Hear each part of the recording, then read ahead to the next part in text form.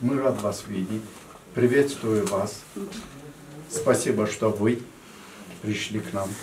В Тимиртау запустили проект по ознакомлению тимиртаустов с культурой народов, проживающих в Казахстане. Одним из таких этносов являются азербайджанцы. В Тимиртау их проживает около 500 человек. В 2008 году активистами был открыт азербайджанский культурный центр «Достлук». Представители центра с удовольствием поделились своей культурой со всеми желающими. Мы рассказываем о своем родине, нашей истории, нашей традиции, нашей культуре, наших языков. И также все, значит, э, мы демонстрируем свои блюда. Сегодня собрались сюда интеллигентные азербайджанцы, и мы пригласили интеллигентных друзей, которые э, из нашей Тимиртау.